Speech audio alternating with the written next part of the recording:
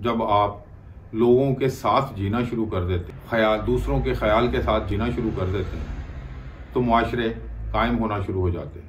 हज़रत वासफ अली वासफ फरमाते हैं, जब कभी गरीबी आ जाए तो किसी गरीब से पूछो कि गरीबी किस तरह गुजारनी है। पैसा हमेशा जरूरतों को खरीदता है और तहजीब आरजुओं को खरीदती है। हम अपनी तहजीब को छोड़कर अपनी जरूरतों के पुजारी बन बन गए हैं, जिसकी वजह से हम मुआरा नहीं बन सके। हमने कहा गलतियाँ की और अब कौन सी गलतियाँ जो नहीं करनी।